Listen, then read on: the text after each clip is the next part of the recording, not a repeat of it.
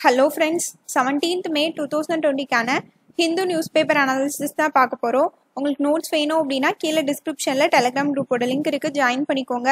Link open ஆகலை அப்படின்னா டிஸ்கிரிப்ஷனில் என்னோட டெலிகிராம் யூசர் நேம் இருக்குது அதை டெலிகிராமில் சர்ச் பண்ணி எனக்கு மெசேஜ் பண்ணுங்கள் நான் உங்களை ஜாயின் பண்ணி விட்டுருவேன். How will the COVID nineteen relief for MSME help அதாவது டியூஸ்டே நம்மளோட பிரைம் மினிஸ்டர் மோடி ஆத்ம நிர்பர் பாரத் அப்படிங்கிற பேரில் ஒரு ஸ்டிமுலஸ் பேக்கேஜ் வந்து அனௌன்ஸ் பண்ணியிருப்பாரு டுவெண்ட்டி லேக் க்ரோர் ருபீஸ்க்கு அதாவது ஆத்ம நிர்பர் பாரத் அப்படின்னா நம்மளோட இந்தியாவை செல்ஃப் ரிலையன்ட் எக்கனாமியாக மாற்றணும் அப்படிங்கிறதுக்காக தான் இந்த ஸ்டிமுலஸ் பேக்கேஜ் வந்து அனௌன்ஸ் பண்ணியிருப்பாரு இதை வந்து எதுக்கெல்லாம் நம்ம செலவு பண்ண போகிறோம் அப்படிங்கிறத நெக்ஸ்ட் டேலேருந்து நம்மளோட ஃபினான்ஸ் மினிஸ்டர் சொல்லுவார் அப்படின்னு சொல்லியிருந்தாரு. அதே மாதிரி நம்மளோட ஃபினான்ஸ் மினிஸ்டர் நாலு ரவுண்ட் அனௌன்ஸ்மெண்ட் வந்து கொடுத்துட்டாங்க. நேற்று ஒரு ரவுண்ட் அனௌன்ஸ்மெண்ட் கொடுத்துருக்காங்க. ஸோ இந்த நியூஸ் பேப்பரில் ஃபஸ்ட் ரவுண்ட்லேருந்தே எல்லாத்தையுமே டிஸ்கஸ் பண்ணியிருக்காங்க ஸோ நம்ம ஃபஸ்ட்லேருந்து எல்லாமே பார்க்கலாம். இதில் பார்த்தீங்கன்னா ஃபஸ்ட் ரவுண்ட் அனௌன்ஸ்மெண்ட் பற்றி பேசியிருக்காங்க. ஃபஸ்ட் ரவுண்ட் அனௌன்ஸ்மெண்ட்டில் யாருக்கெல்லாம் கேஷ் வந்து அலோகேட் பண்ணாங்க அப்படின்னு பார்த்தீங்கன்னா எம்எஸ்எம்இஸ்க்கு அதுக்கப்புறமா நான் பேங்கிங் ஃபினான்ஷியல் கம்பெனிஸ் அதுக்கப்புறமா கொஞ்சம் இண்டிவிஜுவல்ஸ் இது எப்படி எப்படி கொடுத்தாங்க அப்படின்னு நம்ம மறுபடியும் ரிவைஸ் பண்ணலாம். எம்எஸ்எம்இஸ்க்கு பார்த்தீங்கன்னா த்ரீ லேக் க்ரோ ருபீஸ்க்கு லோன் வந்து அலோகேட் பண்ணியிருந்தாங்க. இந்த லோன் பார்த்தீங்கன்னா ஃபோர் இயர்ஸ்க்கு வந்து கொடுக்க போகிறோம் ஃபஸ்ட் இயருக்கு அவங்க இன்ட்ரெஸ்ட் வந்து பே பண்ண வேண்டாம். அது மட்டும் இல்லை இது கொலாட்ரல் ஃப்ரீ லோன் அப்படின்னு சொல்லியிருந்தாங்க. எம்எஸ்எம்இஸோட டெஃபனிஷனை வந்து சேஞ்ச் பண்ண போகிறோம் சேஞ்ச் பண்ணி தான் இந்த லோன் வந்து கொடுக்க போகிறோம் அப்படின்னு சொல்லியிருந்தாங்க. எம்எஸ்எம்இஸ் அப்படின்னா மைக்ரோ ஸ்மால் மீடியம் என்டர்பிரைசஸ் எப்படி ஒரு என்டர்பிரைஸ் மைக்ரோ இல்லை ஸ்மால் மீடியம் அப்படின்னு கண்டுபிடிப்பாங்கன்னா MSME development act two thousand six first இதில் எப்படி டிஃபைன் பண்ணிட்டு இருந்தாங்க அப்படின்னா மேனுஃபேக்சரிங் சர்வீஸ் செக்டார் இப்படின்னு ரெண்டாக பிரிச்சிருந்தாங்க. இப்போ ஒரு கம்பெனி வந்து மேனுஃபேக்சரிங் கம்பெனியாக இருந்துச்சுன்னா அந்த கம்பெனியில் இன்வெஸ்ட்மெண்ட் எவ்வளோ இருக்குது அப்படிங்கிறத வச்சு தான் அதை வந்து மைக்ரோவா ஸ்மாலா அப்படின்னு பிரிச்சுட்டு இருந்தாங்க அதாவது இப்போ பார்த்தீங்கன்னா இப்போ ஒரு மேனுஃபேக்சரிங் கம்பெனியே எடுத்துக்கோங்க. ஒரு பிஸ்கட் தயாரிக்கிற கம்பெனி எடுத்துக்கோங்க. ஸோ அது ஒரு மேனுஃபேக்சரிங் என்டர்பிரைஸ் அதில் வந்து இன்வெஸ்ட்மெண்ட் டுவெண்ட்டி ஃபைவ் லேக்குக்கு கம்மியாக இருந்துச்சு அப்படின்னா அது வந்து மைக்ரோ இதே வந்து ஃபைவ் க்ரோருக்கு கம்மியாக இருந்தால் ஸ்மால் டென் க்ரோருக்கு கம்மியாக இருந்தால் மீடியம் அந்த மாதிரி. இதே வந்து சர்வீஸ் என்டர்பிரைஸ் எடுத்துக்கோங்க. ஒரு சின்ன ஐடி கம்பெனி எடுத்துக்கோங்க. இல்லை ஒரு கன்சல்டன்சி சர்வீஸ் கம்பெனி எடுத்துக்கோங்க. அங்கே வந்து இன்வெஸ்ட்மெண்ட் வந்து டென் லேக்குக்கு கம்மியாக இருந்தால் அவங்க மைக்ரோ டூ க்ரோருக்கு கம்மியாக இருந்தால் அவங்க ஸ்மால் இந்த மாதிரி டிஃபைன் பண்ணிட்டு இருந்தாங்க. அதுக்கப்புறமா டூ தௌசண்ட் எயிட்டீனில் நம்மளோட கவர்மெண்ட் ஒரு டிராஃப்ட் பில் வந்து கொண்டு வந்தாங்க. இந்த எம்எஸ்எம்இ இடி ஆக்டை அமன் பண்ணுறதுக்காக அதில் என்ன பண்ணியிருந்தாங்க அப்படின்னா மேனுஃபேக்சரிங் சர்வீஸ் அப்படிலாம் வந்து பிரிக்க வேண்டாம். எல்லாத்துக்குமே நம்ம ஆனுவல் டேன் ஓவரை வச்சு டிஃபைன் பண்ணலாம் அப்படின்னு வந்து கொண்டு வந்திருந்தாங்க. ஆனால் அந்த பில் வந்து பாஸ் ஆகலை. இப்போவும் வந்து டெஃபனிஷனை வந்து மாற்ற போகிறோம் அப்படின்னு சொல்லியிருக்காங்க. ஆனால் இப்போ என்ன சொல்லியிருக்காங்க அப்படின்னா இன்வெஸ்ட்மெண்ட் அண்ட் டேன் ஓவர் ரெண்டையுமே எடுத்துப்போம் அப்படின்னு சொல்லியிருக்காங்க. அதே மாதிரி மேனுஃபேக்சரிங் அண்ட் சர்வீஸ்னு ரெண்டாக பிரிக்க மாட்டாங்க. எந்த ஒரு கம்பெனியாக இருந்தாலுமே அவங்களோட இன்வெஸ்ட்மெண்ட் வந்து ஒன் க்ரோருக்கு கம்மியாக இருக்குது அவங்களோட ஆனுவல் டேன் ஓவர் வரும்ல ஆனுவலாக அவங்களுக்கு காசு வருமானம் வரும்ல அது வந்து ஃபைவ் க்ரோருக்கு கம்மியாக இருக்குது அப்படின்னா அவங்க வந்து மைக்ரோ இதே வந்து ஸ்மால் அப்படின்னா அவங்களோட இன்வெஸ்ட்மெண்ட் டென் க்ரோருக்கு கம்மியாக இருக்குது அவங்களோட ஆனுவல் டேன் ஓவர் ஃபிஃப்டி க்ரோருக்கு கம்மியாக இருக்குன்னா அவங்க ஸ்மால் இந்த மாதிரி இப்போ புதுசாக என்ன பண்ண போகிறாங்க டிஃபைன் பண்ணி இந்த லோன் வந்து அலோகேட் பண்ண போகிறாங்க அப்போ என்ன பண்ணணும்? இந்த ஆக்டை வந்து அமெண்ட்மெண்ட் பண்ணணும். எப்படி அமெண்ட்மெண்ட் பண்ணுவாங்க? ஆர்டினன்ஸ் மூலமாக பண்ணுவாங்க. ஆர்டிகிள் ஒன் டுவெண்ட்டி த்ரீ இது நமக்கு தெரியும். இப்போது இந்த லோன் வந்து எம்எஸ்எம்இஸ்க்கு பெனிஃபிட்டாக இருக்குமா அப்படின்னு பேசியிருக்காங்க. கண்டிப்பாக பெனிஃபிட்டாக இருக்கும். நம்ம கடையில் வந்து ஃபார்ட்டி ஃபைவ் லேக் எம்எஸ்எம்இஸ் இருக்காங்க. அவங்களோட ஒர்க்கிங் கேபிட்டலுக்கு இது ஹெல்ப் ஆகும் அப்படின்னு சொல்லியிருக்காங்க. எப்போவுமே ஒரு எக்கனாமிக் ஆக்டிவிட்டி நடக்கணும் அப்படின்னா பேசிக்காக ஒரு நாலு விஷயங்கள் தேவை. அது நம்ம எக்கனாமிக்ஸில் படிச்சிருப்போம். என்சிஆர்டியில் ஃபஸ்ட்டு சாப்டரே அதுதான் இருக்கும். அதாவது factors of production land labour capital knowledge and enterprise அதாவது பிஸ்னஸ் மேன் அப்போது இதில் பார்த்தீங்கன்னா கேபிட்டல் இருக்கா? ஃபிக்ஸ்டு கேபிட்டல் ஒர்க்கிங் கேபிட்டல் அப்படின்னு கூட பிரிக்கலாம். அப்போது ஃபிக்ஸ்டு கேபிட்டல் அப்படின்னா என்னன்னா இப்போ நான் ஒரு புதுசாக ஒரு பிஸ்னஸ் ஸ்டார்ட் பண்ண போகிறேன் அந்த கம்பெனியை ஆரம்பிக்கிறதுக்காக அங்கே வந்து நிறைய மிஷின்ஸ்லாம் வாங்குறேன் அப்படின்னா அது வந்து என்னோட லாங் டேர்ம் இன்வெஸ்ட்மெண்ட் அதானா அது எப்போவுமே அந்த கம்பெனி அந்த மிஷின்ஸ்லாம் ரொம்ப நாள் வரப்போகுது அப்போ அது ஃபிக்ஸ்டு கேபிட்டல் இதே ஒர்க்கிங் கேபிட்டல் அப்படின்னா என்னோட டே டு டே எக்ஸ்பென்ஸ் அதுதான் வந்து working capital day to day எனக்கு என்ன எக்ஸ்பென்ஸ் இருக்கும்? ரா மெட்டீரியல்ஸ் வாங்கணும். இதே நான் ஒரு பிஸ்கட் கம்பெனி வச்சுருந்தேன்னா டெய்லி வந்து அதுக்கு தேவையான ரா மெட்டீரியல்ஸ்லாம் நான் வாங்கிட்டு இருக்கணும். என்னோட ஒர்க்கர்ஸ்க்கு நான் சம்பளம் கொடுக்கணும். இந்த மாதிரிலாம் இருக்கும்ல. ஸோ இதுதான் ஒர்க்கிங் கேபிட்டல் ஸோ இதை மீட் பண்ணுறதுக்கு இது ஹெல்ப்பாக இருக்கும். ஏன்னா லாக்டவுனால அவங்க கையிலலாம் காசு இருக்காது. புதுசாக எல்லாமே ஆரம்பிக்கணும் அப்படின்னா ரா மெட்டீரியல்ஸ் வாங்கணும். அதே மாதிரி எம்ப்ளாயீஸ்க்கு வந்து சம்பளம் கொடுக்கணும். அதுக்கு வந்து இது ஹெல்ப்பாக இருக்கும் அப்படின்னு சொல்லியிருக்காங்க. அடுத்து இது கொலாட்ரல் ஃப்ரீ லோன் அப்படின்னு சொன்னோம்ல. அதாவது இப்போ நம்ம லோன் வாங்க பேங்குக்கு போகிறோம் அப்படின்னா சும்மா அவங்க லோன் தர மாட்டாங்க. நம்ம ஏதாவது செக்யூரிட்டி கொடுக்கணும். அதாவது நம்மளோட நல்ல பத்திரத்தை கொடுக்கலாம் நம்மளோட வீட்டு பத்திரத்தை கொடுக்கலாம். இதை வச்சு தான் நம்ம லோன் வாங்க முடியும். ஆனால் இப்போ எம்எஸ்எம்இக்கு கொடுக்க போகிற இந்த லோன் வந்து இவங்க எந்த செக்யூரிட்டியுமே வாங்காமல் சும்மா கொடுக்க போகிறாங்களா அப்படின்னா என்ன அர்த்தம் அப்படின்னா நம்மளோட சென்ட்ரல் கவர்மெண்ட் இந்த லோனுக்கு கேரண்டி அப்படின்னு அர்த்தம். அதாவது இந்த எம்எஸ்எம்இஸ் வந்து இதை பே பண்ணலனாலும் சென்ட்ரல் கவர்மெண்டே பே பண்ணிடுவாங்க. அதுதான் கொலாட்ரல் ஃப்ரீ லோன் இந்த மாதிரி கொலாட்ரல் ஃப்ரீ லோன் அப்படின்னு சொன்னதுனால கண்டிப்பாக பேங்க்ஸ்லாம் வந்து சீக்கிரமாக லோன்ஸ் கொடுக்க ஆரம்பிச்சிருவாங்க. அடுத்து நான் பேங்கிங் ஃபினான்ஷியல் கம்பெனிஸ்க்கு வந்து ஃபண்ட் வந்து அலோகேட் பண்ணியிருந்தாங்க. நான் பேங்கிங் ஃபினான்ஷியல் கம்பெனிஸ்னால் என்ன அப்படின்னு நமக்கு தெரியும். இவங்க வந்து பேங்க்ஸ் கிடையாது. இவங்க வந்து கம்பெனிஸ் ஆக்டுக்கு கீழே வருவாங்க. அதாவது இவங்களோட மேஜரான ஃபங்க்ஷன் என்ன அப்படின்னு பார்த்தீங்கன்னா ஃபினான்ஸ் கொடுக்குறதுல தான் இருக்கும். For example micro financing companies Muthoot Fincorp Shriram finance இந்த மாதிரி எல்லா ஃபினான்சிங் ஏஜென்சியும் நான் பேங்கிங் ஃபினான்ஷியல் கம்பெனிஸ்க்கு கீழே வரும்.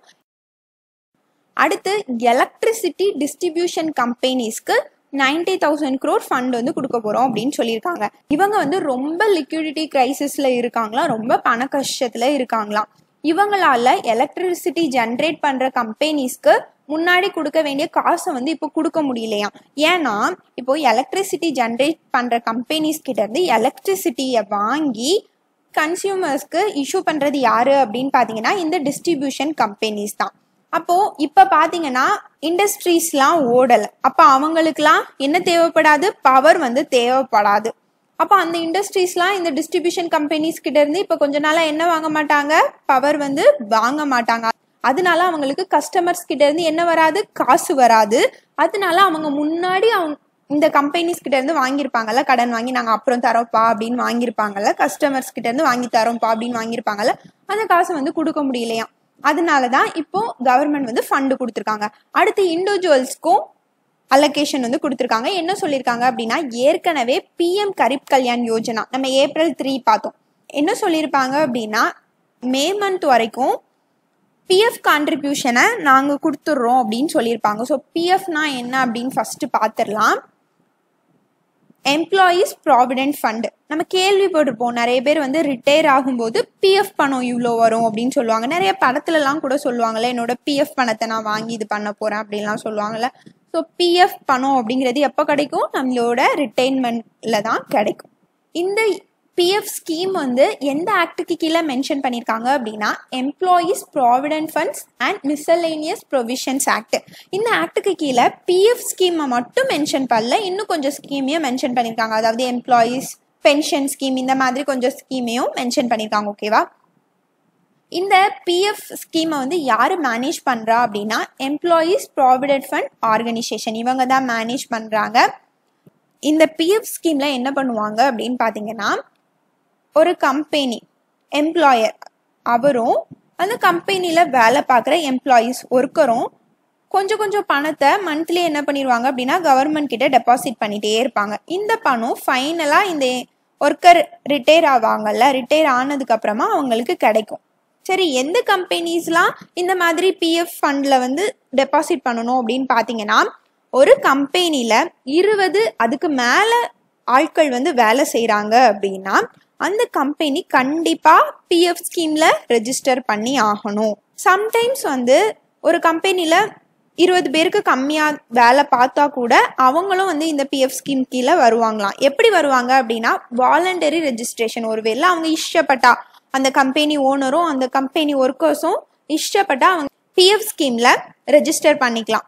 இல்லை அப்படின்னா சம்டைம்ஸ் வந்து சென்ட்ரல் கவர்மெண்ட் சில என்டிட்டிஸை நீங்கள் கண்டிப்பாக வரணும் அப்படின்னு சொல்லுவாங்களாம். இதை வந்து கம்பல்சரி ரெஜிஸ்ட்ரேஷன் அப்படின்னு சொல்லுவாங்க ஓகேவா சரி இந்த மாதிரி. இப்போ கம்பெனிஸ் வந்து பிஎஃப் ஸ்கீமில் ரெஜிஸ்டர் பண்ணியாச்சு. ரெஜிஸ்டர் பண்ணதுக்கப்புறமா எப்படி பணம் அதில் வந்து போடுவாங்க அப்படின்னு பார்க்கலாம். அவங்க கம்பெனியில் ஃபிஃப்டீன் தௌசண்ட் பெர் மந்த் சேலரிக்கு கீழே எந்த எம்ப்ளாயீஸ்லாம் வேலை பார்க்குறாங்களோ அவங்களெல்லாம் கண்டிப்பாக இந்த பிஎஃப் ஸ்கீமுக்கு கீழே அவங்க வந்து என்ன பண்ணணும்னா மென்ஷன் பண்ணணும் ஓகேவா இப்போ ஃபிஃப்டீன் தௌசண்ட்க்கு கீழே இருக்கிற ஆட்கள் எல்லாம் மென்ஷன் பண்ணியாச்சு. இப்போ ஒருத்தவங்களோட சேலரி டென் தௌசண்ட் அப்படின்னு எடுத்துக்கோங்க. அதில் டுவெல் பர்சன்டேஜ் அதாவது தௌசண்ட் டூ ஹண்ட்ரட் ருப்பீஸ் வரும். அப்போது இந்த ஆளுக்கு மாத சம்பளம் கொடுக்கும்போது அவங்களுக்கு இந்த ஆயிரத்தி இரநூறுபாய் என்ன பண்ணணும்? அந்த ஓனர் கழிச்சுக்கிட்டு கொடுக்கணும். அப்போது பத்தாயிரத்துலேருந்து ஆயிரத்தி இரநூறு கழிச்சு எட்டாயிரத்தி எண்ணூறு தான் அவர் சம்பளம் வாங்குவார். ஏன்னா மிச்சம் ஆயிரத்தி இரநூறு எங்கே போகுது? பிஎஃப் ஸ்கீமில் டெபாசிட் பண்ணுறாங்க அதுக்கப்புறமா இந்த ஓனர் இருக்கார்ல இவரும் இந்த ஒர்க்கர் இருக்காங்கல்ல இவங்களோட நேம்ல ஒரு ஆயிரத்தி இரநூறுவாயை டெபாசிட் பண்ணணும். இப்படி மந்த்லி மந்த்லி அவங்களோட சேலரியிலேருந்து ஒரு ஆயிரத்தி இரநூறுவாயை டெபாசிட் பண்ணுவாங்க. இந்த ஓனரும் அவங்களோட ஒர்க்கருக்காக இந்த பிஎஃப் ஃபண்டில் இன்னொரு ஆயிரத்தி இரநூறுபாயை டெபாசிட் பண்ணிகிட்டே இருப்பார். இப்படி டெபாசிட் பண்ணிகிட்டே போயிட்டே இருக்குமா? அதுக்கப்புறமா ஒரு நாள் அந்த ஒர்க்கர் ரிட்டையர் ஆகும்போது மொத்த பணமும் கவர்மெண்ட்டும் கொஞ்சம் இன்ட்ரெஸ்ட் போட்டு என்ன பண்ணுவாங்கன்னா கொடுப்பாங்க. அதுதான் பிஎஃப் பணம். ஃபிஃப்டீன் தௌசண்ட்க்கு மேலே சம்பளம் வாங்குறவங்கள இந்த பிஎஃப் ஸ்கீமுக்கு கீழே சேர்க்கணும் அப்படிங்கிறது எந்த ஓனருக்கும் கட்டாயம் கிடையாது. ஆனால் அந்த ஓனர் வந்து ஆசைப்பட்டா அவங்களுக்கும் சேர்த்து என்ன பண்ணலாம்? மாதம் மாதம் காசு கட்டலாம். டுவெல் பர்சன்டேஜ் அவங்களோட வேஜஸ்ல இருந்து அவங்க கட்டணும் ஓகேவா இதே பார்த்தீங்கன்னா நம்ம சொன்னோம்ல சம்டைம்ஸ் வந்து டுவெண்ட்டி மெம்பர்ஸ்க்கு கீழே இருக்கிற ஃபைன்ஸும் இதுக்கு கீழே வரும். வாலண்டரி ரெஜிஸ்ட்ரேஷன் கம்பல்சரி ரெஜிஸ்ட்ரேஷன் மூலமாக வரும் அப்படின்னு சொன்னோம்ல. அந்த மாதிரி இருபது பேருக்கு கீழே இருக்கிற கம்பெனிஸ் வந்து டுவெல் பர்சன்டேஜ் கட்ட வேண்டாம். டென் பர்சன்டேஜ் கட்டினா போதும். இப்போ பத்தாயிரம் அப்படின்னா அவங்க இவங்க ஆயிரம் ரூபாய் கட்டினா போதும். ஓனரும் ஒர்க்கரும் இப்போ பிஎம் கரீப் கல்யாண் யோஜனா மூலமாக கவர்மெண்ட் என்ன சொல்லியிருந்தாங்க அப்படின்னா நூறு ஒர்க்கர்ஸ்க்கு கீழே இருக்கிற கம்பெனிஸ் எல்லாத்துலேயும் பதினையாயிரம் ரூபாய்க்கு கீழே சேலரி வாங்குவாங்கல்ல அவங்களுக்கு டுவெண்ட்டி ஃபோர் பர்சன்டேஜ் பிஎஃப் ஃபண்டையும் நாங்களே கட்டிடுவோம் அப்படின்னு சொல்லியிருந்தாங்க. அதாவது டுவெல் பர்சன்டேஜ் அந்த ஒர்க்கர் போடுவார் டுவெல் பர்சன்டேஜ் அந்த ஓனர் போடுவாரா இந்த ரெண்டையுமே நாங்களே கட்டிடுவோம். இந்த மாதிரி நூறு பேருக்கு கம்மியாக இருக்க கம்பெனியில் பதினையாயிரம் ரூபாய்க்கு கம்மியாக சேலரி வாங்குறவங்களுக்கு அப்படின்னு சொல்லியிருந்தாங்க. இதை தவிர மற்றவங்கெல்லாம் டென் பர்சன்டேஜ் மட்டும் பிஎஃப் கட்டுங்க. டூ பர்சன்டேஜ் கம்மியாக கட்டினா போதும் அப்படின்னு சொல்லியிருந்தாங்க. எதனால இப்படி சொல்லியிருந்தாங்க அப்படின்னா இந்த மாதிரி பிஎஃப் வந்து கவர்மெண்டே கட்டுறதுனால ஒர்க்கர்ஸ்க்கு என்ன கிடைக்கும்? சேலரி கொஞ்சம் அதிகமாக கிடைக்குமா? முன்னாடி பத்தாயிரம் ரூபாய் சம்பளம் வாங்குறவங்களுக்கு எட்டாயிரத்தி எண்ணூறு ரூபாய் தான் கிடைக்கும். இப்போ இந்த பீரியட்ல வந்து பத்தாயிரம் ரூபாயும் கிடைக்கும் போது அவங்களுக்கு கொஞ்சம் ஹெல்ப்ஃபுல்லாக இருக்கும்ல. அதனால தான் இதை அனௌன்ஸ் பண்ணியிருந்தாங்க. இப்போ இந்த ஃபர்ஸ்ட் ரவுண்ட் ஆத்ம நிர்பர் பாரத்ல இதை ஆகஸ்ட் வரைக்கும் எக்ஸ்டெண்ட் பண்ணியிருக்காங்க. அடுத்து இண்டிவிஜுவல்ஸ்க்கு இன்னொரு அனௌன்ஸ்மெண்ட்டும் கொடுத்துருந்தாங்க. அதாவது tax deducted at source tax collected at source இதை ரெண்டையும் கம்மி பண்ண போகிறோம் அப்படின்னு சொல்லியிருந்தாங்க. அதாவது நம்ம ஏற்கனவே பார்த்துருக்கோம் டேக்ஸ் வந்து ரெண்டு டைப்பாக பிரிக்கலாம் டைரக்ட் டேக்ஸ் இன்டைரக்ட் டேக்ஸ் அப்படின்னு பார்த்துருக்கோம். டைரக்ட் டேக்ஸ் அப்படின்னா நம்மளே கவர்மெண்ட்டுக்கு டைரக்டாக கட்டுற மாதிரி இருக்கும். அதாவது income tax corporate tax income tax அப்படின்னா என்னோட வருமானத்துலேருந்து நான் கவர்மெண்ட்டுக்கு செர்டைன் பர்சன்டேஜ் வந்து கட்டுவேன். அதே மாதிரி கார்பரேட் டேக்ஸ்னா ஒரு கம்பெனிக்காரன் அவனோட வருமானத்துலேருந்து அவன் கட்டக்கூடியது. இதே வந்து இன்டைரக்ட் டேக்ஸ்னா அப்படி கிடையாது. அது ஒரு குட்ஸ் அண்ட் சர்வீசஸ் மேலே போடக்கூடிய டேக்ஸ் அதாவது நீங்கள் ஒரு பொருள் வாங்குறீங்கன்னா அந்த பொருளுக்கு மேலே இருக்க டேக்ஸ் அதை வந்து நீங்கள் தான் கட்டுவீங்க. ஆனால் நீங்கள் வந்து யாருக்கு கிட்ட கொடுப்பீங்க? அந்த கடைக்காரன்ட்ட கொடுப்பீங்க. இப்போ நீங்கள் ஒரு பொருள் வாங்குறீங்க அப்படின்னா ஜிஎஸ்டி வந்து யார்கிட்ட கொடுப்பீங்க? அந்த கடைக்காரர்கிட்ட கொடுப்பீங்க. கடைக்காரன் என்ன பண்ணுவார்? கவர்மெண்ட் கிட்ட கட்டுவார். இது வந்து இன்டைரக்ட் டேக்ஸ் இது வந்து குட்ஸ் அண்ட் சர்வீசஸ் மேலே போடக்கூடிய டேக்ஸ் இப்போ இந்த டிடிஎஸ் அண்ட் டிசிஎஸ் பார்த்தீங்கன்னா இன்கம் டேக்ஸ் டிபார்ட்மெண்ட் டூல்ஸ் அப்படின்னு சொல்றாங்க. அதாவது இன்கம் டேக்ஸை கலெக்ட் பண்றதுக்காக நம்மளோட கவர்மெண்ட் யூஸ் பண்ற ஒரு டூல் ஒரு கருவி. எல்லாருமே இன்கம் டேக்ஸை ஒரு வருஷம் முடிஞ்சதுக்கு அப்புறமா இன்கம் டேக்ஸ் வந்து ஃபைல் பண்ணுவாங்க. ஆனால் அது வரைக்கும் வெயிட் பண்ண முடியாது. அதுக்கு முன்னாடியே பீப்புள் கிட்ட இருந்து இன்கம் டேக்ஸை கலெக்ட் பண்ணணும் அப்படிங்கிறதுக்காக தான் இந்த ரெண்டு டூலையும் யூஸ் பண்ணுறாங்க எப்படி கலெக்ட் பண்ணுவாங்க அப்படின்னு பார்த்தீங்கன்னா இந்த டேக்ஸ் டிடெக்டட் அட் சோர்ஸை எடுத்துக்கோங்க. இதில் வந்து ரெண்டு டைப் இருக்கு. அதாவது சேலரிட் நான் சேலரிட் இப்போ நான் ஒரு கம்பெனியில் ஒர்க் பண்ணுறேன் ஓகேவா அப்போ எனக்கு மந்த்லி மந்த்லி என்ன வரும்? இன்கம் வரும். அந்த இன்கம்க்கு நான் என்ன பண்ணணும்? டேக்ஸ் கட்டணும். நான் எப்போ டேக்ஸ் கட்டுவேன்? அந்த வருஷம் முடிஞ்சதுக்கு அப்புறமா தான் கட்டுவேன். ஆனால் இப்போ கவர்மெண்ட் வந்து டிடிஎஸ் டூவில் வந்து யூஸ் பண்ணுறாங்க இந்த டூலை யூஸ் பண்ணுறது மூலமாக எனக்கு சம்பளம் தரும்ல அந்த கம்பெனி அந்த கம்பெனி வந்து சம்பளம் தரும்போதே என்ன பண்ணிடுவாங்க அப்படின்னா டிடிஎஸ்க்கு உங்களுக்கு ரெண்டு பர்சன்டேஜ் நாங்கள் பிடிச்சிருக்கோம் அப்படின்னு சொல்லிட்டு அதை பிடிச்சிக்கிட்டு எனக்கு சம்பளத்தை தருவாங்க. இவங்க ரெண்டு பர்சன்டேஜ் என் என் சம்பளத்துலேருந்து பிடிச்சி வச்சிருக்காங்கல்ல டிடிஎஸ்க்காக அந்த ரெண்டு பர்சன்டேஜை கவர்மெண்ட் கிட்ட பே பண்ணிடுவாங்க இன்கம் டேக்ஸ் டிபார்ட்மெண்ட் கிட்ட பே பண்ணிடுவாங்க எனக்காக என்னோட கம்பெனி வந்து பே பண்ணிடுவாங்க பே பண்ணிட்டு என்னோட நேமில் பே பண்ணுவாங்க. என் நேமில் இன்கம் டேக்ஸ் டிபார்ட்மெண்ட்டில் பே பண்ணி வச்சுருவாங்க. எனக்கும் ஒரு ரிசிப்டையும் கொடுத்துருவாங்க. உங்களுக்கு டிடிஎஸ் வந்து கட்டியாச்சு. நீங்கள் இனிமேல் இயர் எண்டில் உங்களோட இன்கம் டேக்ஸ் வந்து கட்டும்போது இதை ஃபைல் பண்ணி கிளைம் பண்ணிக்கோங்க அப்படின்னு சொல்லிடுவாங்க அப்போ நான் வந்து இயர் எண்டில் இந்த பேப்பரை கொடுத்துட்டா போதும். எனக்கு முடிஞ்சிச்சு ஏன்னா நான் இப்போவே வந்து மந்த்லி மந்த்லி கட்டிகிட்டு இருக்கேன்ல. So tax deducted at source இப்போ நான் சேலரிட் டிடிஎஸ் அப்படின்னா என்னன்னு பார்க்கலாம். இப்போ நான் வந்து ஒரு அட்வொகேட் அப்படின்னு வச்சுக்கோங்க. நான் ஒரு கம்பெனிக்கு லீகல் அட்வைஸ் கொடுக்குறேன். லீகல் அட்வைஸ் கொடுக்கும்போது அவங்க என்ன பண்ணுவாங்க? எனக்கு வந்து அந்த சர்வீஸ்க்கு காசு வந்து தருவாங்க அதானே? அந்த மாதிரி எனக்கு ஒரு ஹண்ட்ரட் ருபீஸ் ஃபீஸ் அதை வந்து தராங்க. தரும்போதே அவங்க என்ன பண்ணிடுறாங்க அப்படின்னா இதில் வந்து உங்களுக்கு டென் பர்சன்டேஜ் டிடிஎஸ் வந்து போட்டுடுறாங்க அதில். நாங்கள் வந்து உங்களுக்கு டென் பர்சன்டேஜ் டிடிஎஸ் வந்து கட் பண்ணி தரோம் அப்படின்னு சொல்லிட்டு நைன்ட்டி ருபீஸ் மட்டும் தராங்க. டென் ருபீஸ் என்ன பண்ணுறாங்க அப்படின்னா இன்கம் டேக்ஸ் டிபார்ட்மெண்ட்ல என்னோட நேமில் என்ன பண்ணிடுவாங்க அப்படின்னா டெபாசிட் பண்ணிடுவாங்க. என்கிட்ட அந்த ரிசிப்டை வந்து தந்துடுவாங்க ஓகேவா இப்போ இதை வந்து எந்த கம்பெனிஸ்லாம் வசூலிக்கணும் அவங்களோட ஒர்க்கர்ஸோட சேலரியிலேருந்து அதுக்கப்புறமா இந்த மாதிரி அட்வொகேட் ப்ரொஃபஷனல் சர்வீஸ் கொடுக்கறது அதுக்கப்புறமா கமிஷன் ப்ரோக்கரேஜ் கான்ட்ராக்டர்ஸ் இதுலலாம் வந்து எப்படி கலெக்ட் பண்ணணும்? இதெல்லாம் யார் சொல்லுவா அப்படின்னு பார்த்தீங்கன்னா சிபிடிடி அதாவது central board for direct taxes நம்ம ஏற்கனவே படிச்சிருக்கோம்ல இவங்க தான் வந்து இதை ரெகுலேட் பண்ணி எந்த சேலரிஸ்க்கெலாம் வந்து டிடிஎஸ் வந்து கலெக்ட் பண்ணணும் எந்த இந்த மாதிரி நான் சேலரிடு ஃபீஸ்க்கெல்லாம் வந்து கலெக்ட் பண்ணணும் அப்படின்னு சொல்லுவாங்க. அடுத்து டேக்ஸ் கலெக்டட் அட் சோர்ஸ் அப்படின்னு பார்க்கலாம் இது பார்த்தீங்கன்னா நான் வந்து ஏதாவது பொருள் வாங்க செலவு பண்ணுவேன்ல அந்த மாதிரி செலவு பண்ணும்போது அதுலேருந்தே என்னோட இன்கம்மை வந்து கலெக்ட் பண்ணிடுவாங்க இயர் எண்டு வரைக்கும் வெயிட் பண்ண மாட்டாங்க. எப்படி அப்படின்னு பார்த்தீங்கன்னா எந்த மாதிரி குட்ஸ்லாம் வாங்கும்போது டிசிஎஸ் கலெக்ட் பண்ணுவாங்க அப்படின்னு பார்த்தீங்கன்னா டிம்பர் அதுக்கப்புறமா மினரல்ஸ் மோட்டார் வீகிள்ஸ் அதாவது டென் லேக்குக்கு அதிகமாக மோட்டார் வீகிள்ஸ் வந்து நான் வாங்கும்போது இந்த மாதிரி நிறைய இருக்குது இதையும் யார் வந்து டிசைட் பண்ணுவா அப்படின்னு பார்த்தீங்கன்னா சிபிடிடி தான் டிசைட் பண்ணுவாங்க.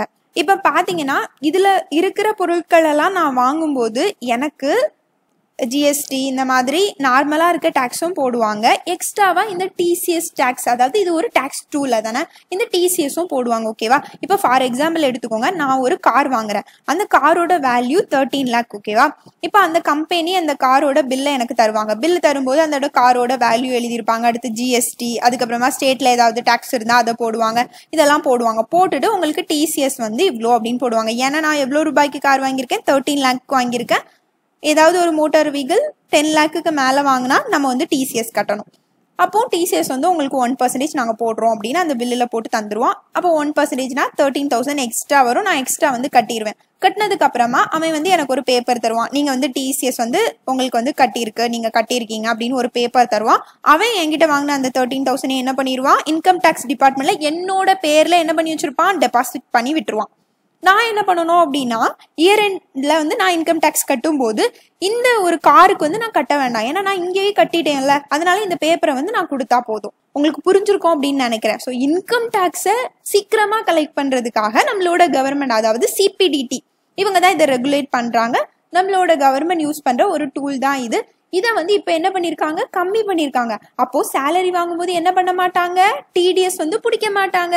ஏன்னா டுவெண்ட்டி ஃபைவ் பர்சன்டேஜ் வந்து கம்மி பண்ணுறோம் அப்படின்னு சொல்லிட்டாங்க. அப்போ இது வரைக்கும் டிடிஎஸ் கட் ஆகிட்டு இருந்த பீப்புள்ஸ்க்குலாம் அது கட்டாகாமே சேலரி கிடச்சிரும். அப்படின்னா என்ன அர்த்தம்? அவங்க கட்டவே வேண்டாமா அப்படின்னு கேட்டிங்கன்னா அப்படி கிடையாது. இப்போ இந்த இயர் முடிஞ்சதுக்கு அப்புறமா இவங்க வந்து இந்த இது மொத்தமா சேர்த்து அதை கட்டணும். இப்போ கட்ட தேவையில்ல. மாசம் மாசம் உங்களுக்கு டிடிஎஸ் பிடிக்காம காசு வந்துடும் இப்போ நம்ம கார் வாங்க போறோம் அப்படின்னு வைங்களேன் டிசிஎஸ் வந்து கம்மியாக கட்டினா போதும். கொஞ்சம் ரேட் வந்து கம்மி பண்ணியிருக்காங்க அந்த டாக்ஸ் ரேட்டையும் கம்மி பண்ணியிருக்காங்க இந்த கம்மி பண்ணியிருக்காங்கல்ல இந்த டேக்ஸ் ரேட்டை நம்ம இயர் எண்டில் கட்டும்போது கட்டிக்கணும். இப்போதைக்கு இந்த பிரச்சனையை தீர்க்கிறதுக்காக பீப்புள் கையில் பணம் இருக்கணும் அப்படிங்கிறதுக்காக இந்த மெஷர் வந்து எடுத்திருக்காங்க. உங்களுக்கு புரிஞ்சிருக்கும் அப்படின்னு நினைக்கிறேன். Will migrants benefit from centre's measures இது வந்து செகண்ட் ரவுண்ட் செகண்ட் ரவுண்டில் என்ன மாதிரியான அனௌன்ஸ்மெண்ட்லாம் கொடுத்துருந்தாங்க அப்படின்னா மைக்ரண்ட் ஒர்க்கர்ஸ்க்கு கொடுத்துருந்தாங்க. அதுக்கப்புறமா அர்பன் புவர் பீப்புள் அர்பனில் இருக்கிற ஒர்க்கர்ஸ் எல்லாத்துக்கும். அதுக்கப்புறமா ஸ்மால் ஃபார்மர்ஸ்க்கு ஓகேவா ஃபஸ்ட்டு மைக்ரண்ட் ஒர்க்கர்ஸ் பற்றி ஒரு டேட்டா கொடுத்துருக்காங்க. அதை பற்றி பார்க்கலாம். மைக்ரண்ட் ஒர்க்கர்ஸ் பார்த்தீங்கன்னா மோஸ்ட்லி அர்பன் ஏரியாஸில் தான் இருக்காங்களாம். Two thousand seventeen periodic labour force survey என்எஸ்எஸோட survey இது. இந்த சர்வே படி பார்த்தீங்கன்னா urban ஒர்க்கர்ஸில் one point five crore people வந்து வல்னரபிள் ஜாப்ஸில் இருக்காங்களா? அதாவது கேஷுவல் ஜாப்ஸில் இருக்காங்க. கேஷுவல் ஜாப்ஸ் அப்படின்னா என்னென்னா வேலை இருந்தால் போகணும் இல்லைனா இல்லை அவ்வளோதான் அப்படி ரெகுலர் ஜாப் இருக்காது ரெகுலராக சேலரி இருக்காது அதுதான் வந்து கேஷுவல் ஜாப் அப்படின்னு சொல்லுவோம். நீங்கள் வந்து நல்லா ஒரு ஃபார்மல் செக்டர் ஃபைமில் ஒர்க் பண்ணுறீங்க அப்படின்னா நீங்கள் மந்த்லி வந்து லீவ் எடுத்தாலும் உங்களுக்கு மாத சம்பளம் வந்துடும் ஆனால் two point five crore people என்ன மாதிரி ஒர்க்கில் இருக்காங்க அப்படின்னா டே சேலரி இருக்கும்ல இப்போ ஒரு மாசத்துல நாலு நாள் வரலன்னா அந்த நாலு நாள் கட் பண்ணிடுவாங்க அதுக்கப்புறமா எந்த பெனிஃபிட்டும் இருக்காது. இந்த மாதிரியான வேலையில தான் இருக்காங்க அப்படின்னு சொல்லியிருக்காங்க. இப்போ லாக்டவுன் வந்ததுனால நம்மளோட கண்ட்ரி ஃபுல்லாக டுவெண்ட்டி சிக்ஸ் பர்சன்டேஜ் அன்எம்ப்ளாய்மெண்ட் வந்து நடந்திருக்கான் இதில் பார்த்தீங்கன்னா twenty four point two percentage இந்த அர்பன் ஏரியாஸில் தான் நிறைய பீப்புள் வந்து அன்எம்ப்ளாய்டு ஆயிருக்காங்க அப்படின்னு சொல்லியிருக்காங்க. ஸோ இந்த மாதிரி அன்எம்ப்ளாய்டு ஆன பீப்புள் எல்லாரையுமே ஷெல்டர் ஹோம்ஸில் வந்து வச்சு பார்த்துக்கணும் அப்படின்னு கவர்மெண்ட் வந்து சொல்லியிருந்தாங்க. ஆனால் நம்மளோட இந்தியாவில் இருக்கிற ஷெல்டர் ஹோம்ஸில் சிக்ஸ்டி நைன் பர்சன்டேஜ் கேரளாவில் மட்டும்தான் இருக்கான் இது வந்து கவர்மெண்ட் சுப்ரீம் கோர்ட்டில் கொடுத்த ரிப்போர்ட்டில் இருந்த டேட்டா நிறைய பீப்புள் வந்து ஊருக்கு போகணும் அப்படின்னு நினச்சாங்க. அதானே மைக்ரண்ட் ஒர்க்கர்ஸ் அதுக்காக ஷ்ராமிக் ட்ரெயின்ஸ் வந்து விட்டாங்க. ஆனால் இதுவுமே பீப்புள்ஸ்க்கு இன்னுமே அக்சசபிளாக இல்லை. மைக்ரண்ட் ஒர்க்கர்ஸ்க்கு என்ன அனௌன்ஸ்மெண்ட் கொடுத்துருக்காங்க அப்படின்னா இப்போ அர்பன் ஏரியாஸ்லேருந்து ரூரல் ஏரியாஸ்க்கு போகிற ஒர்க்கர்ஸ்க்கும் எம்ஜி நரேகா மூலமாக ஜாப்ஸ் வந்து கொடுக்க சொல்லியிருக்காங்க. இது வந்து மான்சூன் சீசன் வர கொடுக்கலாம் அப்படின்னு சொல்லியிருக்காங்க. அது மட்டும் இல்லை பிளான்டேஷன் ஹார்டிகல்ச்சர் லைஃப் ஸ்டாக் இந்த மாதிரி ஏரியாலலாம் அவங்களுக்கு ஒர்க் கொடுக்கலாம் அப்படின்னு சொல்லியிருக்காங்க. எம்ஜி நரேகானா நமக்கு தெரியும். இது ரூரல் ஹவுஸ்ஹோல்ட் எம்ப்ளாய்மெண்ட் ஸ்கீம் இது மூலமாக ஹண்ட்ரட் டேஸ் வந்து ரூரல் ஹவுஸ்ஹோல்ட்க்கு ஒர்க் வந்து கொடுக்குறாங்க. அடுத்து migrant ஒர்க்கர்ஸ்க்கு free supply of food grains வந்து டூ மந்த்ஸ்க்கு கொடுக்க போகிறோம் அப்படின்னு சொல்லியிருந்தாங்க. அவங்க வந்து பிடிஎஸ் ஸ்கீமுக்கு கீழே வரலனாலும் அவங்களுக்கு வந்து ஃபுட் கிரெயின்ஸ் வந்து கிடைக்கும். ஏன்னா நிறைய மைக்ரண்ட் ஒர்க்கர்ஸ் வந்து பிடிஎஸ் ஸ்கீம் அதாவது ரேஷன் கார்டு வந்து இல்லாமல் இருக்காங்க. இந்த பிடிஎஸ் ஸ்கீம் வந்து எந்த ஆக்டுக்கு கீழே வரும்? நேஷ்னல் ஃபுட் செக்யூரிட்டி ஆக்ட் இதை பற்றி நம்ம ஏற்கனவே ஒரு நாள் டிஸ்கஸ் பண்ணியிருக்கோம். ஸோ இதுக்கு கீழே தான் இந்த பிடிஎஸ் ஸ்கீம் வரும்.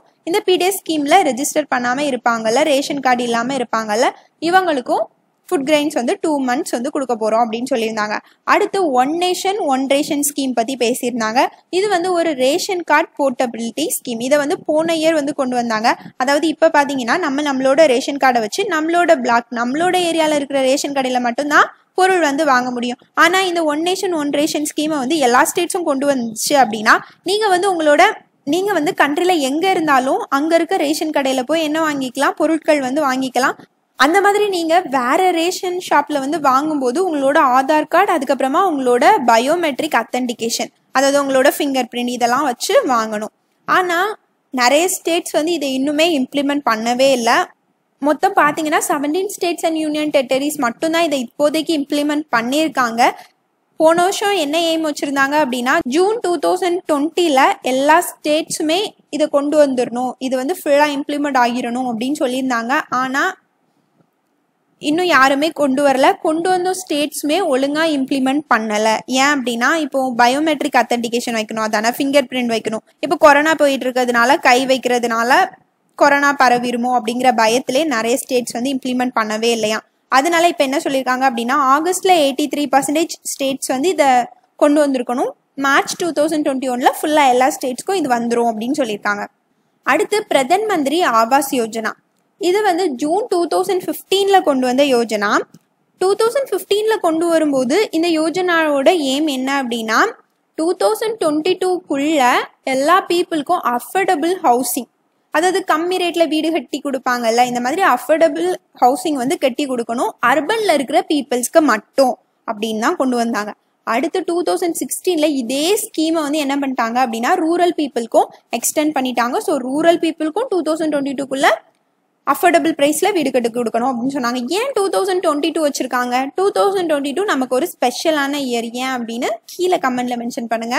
இப்போ இந்த அனௌன்ஸ்மெண்ட்ல என்ன சொல்லியிருக்காங்க அப்படின்னா சிட்டிஸில் இருக்கிற புவர் பீப்புள் புவர் ஒர்க்கர்ஸ் இவங்களுக்கெல்லாம் இந்த ஸ்கீம் மூலமா ரெண்டல் ஹவுசஸ் வந்து கட்டி கொடுக்க போறோம். அதாவது வாடகைக்கு வந்து கட்டி கொடுக்க போறோம். இது வந்து பப்ளிக் பிரைவேட் பார்ட்னர்ஷிப்ல பண்ண போறோம் அப்படின்னு சொல்லியிருக்காங்க ஸ்மால் ஃபார்மர்ஸ்க்கு என்ன அனௌன்ஸ்மெண்ட் கொடுத்துருந்தாங்க அப்படின்னா அவங்களுக்கு தேர்ட்டி தௌசண்ட் க்ரோர் வந்து லோன் கொடுக்க போகிறோம் அப்படின்னு சொல்லியிருந்தாங்க. அதாவது rural cooperatives regional rural banks இது மூலமாக கொடுப்போம் அப்படின்னு சொல்லியிருந்தாங்க. இந்த இந்த மாதிரி ரூரல் பேங்க்ஸ்லாம் யார் ரெகுலேட் பண்ணுவா? நம்ம நேற்று பார்த்தோம். நபேடு தான் ரெகுலேட் பண்ணுவாங்க. ஸோ இவங்க மூலமாக தான் இந்த கேஷை வந்து கொடுக்க போகிறாங்க அடுத்து ஸ்ட்ரீட் வெண்டர்ஸ் அதாவது சாலையில் வந்து வியாபாரிகள் இருப்பாங்கல்ல இவங்களுக்கு வந்து ஒரு ஸ்பெஷலாக ஒரு ஸ்கீம் வந்து கொண்டு வர போகிறோம் அப்படின்னு சொல்லியிருக்காங்க. இன்னும் வந்து கொண்டு வரல. இது மூலமாக அவங்களுக்கு ஈஸியாக லோன் கிடைக்கிற மாதிரி பண்ண போகிறோம் இந்த ஸ்கீமை வந்து இந்த மந்த் எண்டுக்குள்ளே கொண்டு வரோம் அப்படின்னு சொல்லியிருக்காங்க. இந்த ஸ்கீம் மூலமாக அவங்களுக்கு fifty thousand crore rupees fund வந்து கொடுப்போம் லோன் வந்து கொடுப்போம் அப்படின்னு சொல்லியிருக்காங்க. அடுத்து தேர்ட் ரவுண்ட் தேர்ட் ரவுண்ட் வந்து நம்ம நேற்று டிஸ்கஸ் பண்ணோம். என்னெல்லாம் சொல்லியிருந்தாங்க? ஃபுல்லாகவே வந்து பிரைமரி செக்டாரை வந்து கவர் பண்ணியிருந்தாங்க. அக்ரி செக்டார் அக்ரி மார்க்கெட்ஸ் அதுக்கப்புறமா ஃபார்ம் ஹீட் இன்ஃப்ராஸ்ட்ரக்சரை டெவலப் பண்ணணும். அதாவது ப்ராசஸிங் யூனிட்ஸ் மில்ஸ் இதெல்லாம் வந்து டெவலப் பண்ணுறதுக்கு ஃபண்ட் அலோகேட் பண்ணியிருந்தாங்க. அதுக்கப்புறமா ஃபிஷ் ஒர்க்கர்ஸ்க்கு பிரதன் மந்திரி மத்ஸ்ய சம்பத யோஜனா மூலமாக இன்ஃப்ராஸ்ட்ரக்சர் டெவலப்மெண்ட்டுக்கு அனௌன்ஸ்மெண்ட் கொடுத்துருந்தாங்க. அதுக்கப்புறமா லைஃப் ஸ்டாக் ஃபார்மர்ஸ் கேட்டல்ஸ்க்குலாம் வேக்சினேஷன் போடுறதுக்கு ஃபண்ட் வந்து அலோகேட் பண்ணியிருந்தாங்க. இந்த மாதிரி இன்ஃப்ராஸ்ட்ரக்சர் சப்போர்ட் வந்து கொடுத்துருந்தாங்க. அதுக்கப்புறமா இன்னொரு விஷயம் பண்ணியிருந்தாங்க. எசென்ஷியல் கமாடிட்டிஸ் ஆக்ட் இதில் வந்து அமெண்ட்மெண்ட் கொண்டு வர போகிறோம் அப்படின்னு சொல்லியிருந்தாங்க. இப்போ வந்து நம்ம ஒரு கொஸ்டின் வந்து எழுதி பார்க்கலாம். ஏன்னா நம்ம வந்து நேற்று எசென்ஷியல் கமாடிட்டிஸ் ஆக்ட் பற்றி பார்த்தோம். ஸோ அது ரிலேட்டடாக ஒரு mains question what is essential commodities act how will recent decision to amend the act by government benefit agri sector first என்ன எழுதுறீங்க அப்படின்னா எசென்ஷியல் கமாடிட்டிஸ் ஆக்ட்னா என்ன? நம்ம நேற்று டிஸ்கஸ் பண்ணோம் எசென்ஷியல் கமாடிட்டிஸ் ஆக்ட் வந்து எதுக்கு கொண்டு வந்தாங்க? ஹோர்டிங் பிளாக் மார்க்கெட்டிங் இதெல்லாம் வந்து தடுக்கிறதுக்காக கொண்டு வந்தாங்க. செகண்ட் பார்ட்ல என்ன கேட்டிருக்காங்க அப்படின்னா கவர்மெண்ட் வந்து இந்த ஆக்டை வந்து அமெண்ட் பண்ண போறதா அனௌன்ஸ் பண்ணியிருக்காங்க. ஸோ இந்த டிசிஷன் வந்து எப்படி அக்ரிசெக்டாருக்கு ஹெல்ப்பாக இருக்கும் அப்படின்னு கேட்டிருக்காங்க. அப்போ ஃபர்ஸ்ட் என்ன எழுதணும் அப்படின்னா இப்போ இருக்க ஆக்ட் இருக்குல்ல நைன்டீன் ஃபிஃப்டி ஃபைவ் ஆக்ட் இதில் என்னெல்லாம் டிராபேக்ஸ் இருக்கு அப்படின்னு எழுதணும். அதாவது இப்போ இருக்க ஆக்ட் படி பார்த்தீங்கன்னா கவர்மெண்ட் வந்து ரொம்ப ஓவர் ரெகுலேஷன் வந்து பண்ணிட்டு இருக்காங்க. நிறைய பொருட்களை வந்து இதுக்கு கீழே வச்சிருக்காங்க. அதோட ஸ்டாக் லிமிட்ஸ் எப்படி வந்து ட்ரேடர்ஸ் வந்து எவ்வளோ ஸ்டாக் வச்சிருக்கணும் எத்தனை கிலோ வந்து அதை ஸ்டாக் வச்சிருக்கணும் அதை கூட யாரு டிசைட் பண்ணுவா? கவர்மெண்ட் தான் டிசைட் பண்ணுவாங்க. ஸோ இந்த ட்ரேடர்ஸ்லாம் என்ன சொல்கிறாங்க அப்படின்னா சம்டைம்ஸ் வந்து நாங்கள் கொஞ்ச நாள் கழிச்சு விற்கிறதுக்கு கூட வச்சிருக்கலாம். ஆனால் அதை கூட அவங்க என்ன நினைக்கிறாங்க அப்படின்னா நாங்கள் பதுக்கி வச்சிருக்கோம் அப்படின்னு நினச்சி எங்களுக்கு வந்து தண்டனை தர சூழ்நிலைகள்லாம் நடந்துட்டுருக்கு. இந்த மாதிரி நிறைய ட்ராபேக்ஸ் இருக்கு. அப்போ இப்போ கவர்மெண்ட் வந்து என்ன டிசிஷன்ல சொல்லியிருக்காங்க? இந்த மாதிரி ஸ்டாக் லிமிட்ஸ்லாம் கிடையாது. இனிமே நேஷனல் கெலமிட்டி வந்தால் மட்டும்தான் நாங்கள் சொல்லுவோம். இவ்வளோ தான் ஸ்டாக் வைக்கணும் அப்படின்னு சொல்லுவோம். இந்த மாதிரிலாம் சொல்லியிருந்தாங்க. இந்த பெனிஃபிட்லாம் எழுதணும். இது வந்து டென் மார்க் கொஸ்டின் அதனால நீங்கள் வந்து ரெண்டு பேஜ் எழுதணும். அதாவது ஒரு பேஜ் இதுக்கு பின்னாடி ரெண்டு பேஜ் ஓகேவா பேப்பர் கிடையாது பேஜ் யூபிஎஸ்சியோட ஆன்சர் ஷீட் பார்த்தீங்கன்னா மேலே லைன் இருக்கும் சைடில் சைடில் லைன் இருக்கும். கீழே வந்து நம்ம ஸ்பேஸ் விட்டு தான் எழுதணும் ஓகேவா அப்போ நீங்கள் ஒரு ஸ்கேல் அளவுக்கு சைடில் சைடில் கோடு போட்டுக்கோங்க. மேலேயும் வந்து லைன் போட்டுக்கோங்க. கீழே வந்து கொஞ்சம் ஸ்பேஸ் வந்து விட்டுட்டு எழுத ஆரம்பிங்க. எழுதிட்டு என்னோட மெயில் ஐடிக்கு வந்து சென்ட் பண்ணுங்கள் ஓகேவா டெலகிராமில் சென்ட் பண்ணாதீங்க. மெயில் ஐடிக்கு மட்டும் சென்ட் பண்ணுங்கள் அதை வந்து ஸ்கேன் பண்ணி சென்ட் பண்ணுங்கள் ஓகேவா கேம் ஸ்கேனர் இருக்கும்ல அதில் வந்து ஸ்கேன் பண்ணி பிடிஎஃபாக சென்ட் பண்ணுங்கள் டியூஸ்டே வந்து ஃபோர் பிஎம்குள்ளே சென்ட் பண்ணுவோம். எதுக்கு இந்த டைம் அப்படின்னா அப்போ தான் நம்ம வந்து ஒரு கரெக்டாக ஒரு பஞ்சுவலாக இருப்போம் ஒரு சின்சியராக இருப்போம் நம்ம. அதனால தான் இந்த டைம் ஏற்கனவே வந்து நான் ஒரு கொஸ்டின் வந்து கொடுத்துருந்தேன் லெஜிஸ்லேட்டிவ் கவுன்சில் பற்றி அது வந்து நாலு பேர் எழுதியிருந்தாங்க. ஜிஎஸ் சுமி சுப்பிரமணியன் அதுக்கப்புறமா தீரன் அன்பு சுகுணாகண்ணன் இதில் பார்த்தீங்கன்னா ரெண்டு பேர் வந்து ஃபஸ்ட் டைம் தான் நாங்கள் எழுதுறோம் அப்படின்னு சொல்லியிருந்தாங்க. நான் வந்து சூப்பராக எழுதியிருந்தாங்க. உங்களுக்கு வந்து நான் ஃபீட்பேக் வந்து கொடுத்துருந்தேன்.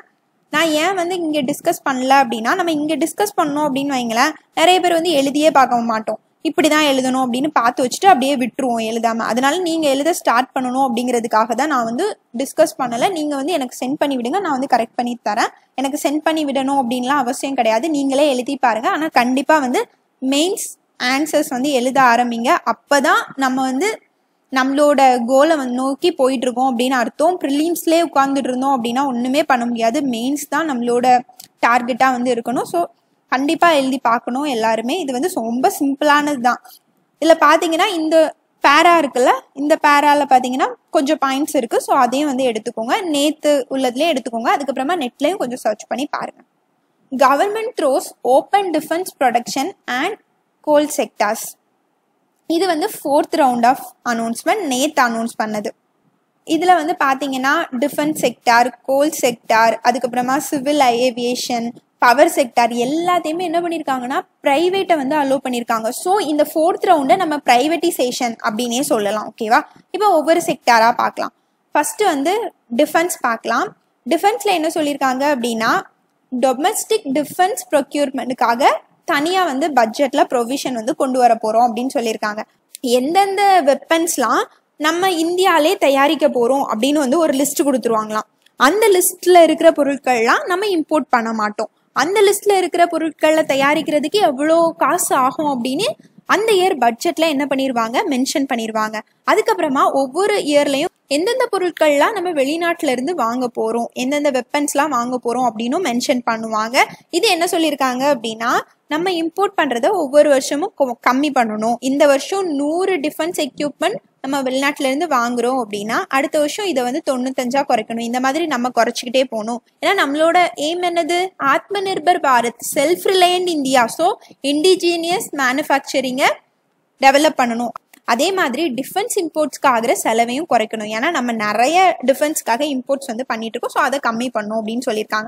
அடுத்து FDI in defence through automatic route அதாவது டிஃபென்ஸில் ஃபாரின் டைரக்ட் இன்வெஸ்ட்மெண்ட் வரும்ல அதை வந்து செவன்டி ஃபோர் பர்சன்டேஜ் வந்து ஆட்டோமேட்டிக் ரூட்டாக மாற்றிருக்காங்க முன்னாடி வந்து ஃபார்ட்டி நைன் பர்சன்டேஜ் மட்டும்தான் ஆட்டோமேட்டிக் ரூட் மூலமாக அலோவ் பண்ணிட்டு இருந்தாங்க. இப்போ செவன்டி ஃபோர் பர்சன்டேஜ் ஆக்கியிருக்காங்க எஃப்டிஐனா என்ன அப்படின்னு பார்க்கலாம். ஃபாரின் இன்வெஸ்ட்மெண்ட்டை ரெண்டாக பிரிக்கலாம்.